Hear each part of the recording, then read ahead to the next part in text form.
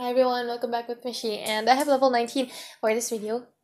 Yep, and we have to search for the chickens. Huh?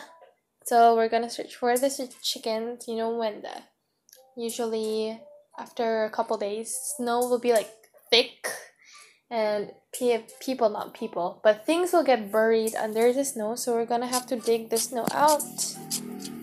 Mm-hmm. Uh-huh, now snow is out, we have two chickens. The thing is, there are four chickens, and we're going to search for the other two.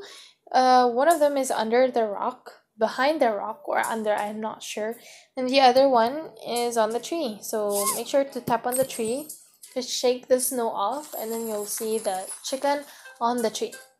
Back to your sheds before you start hatching eyes instead of eggs. That's it.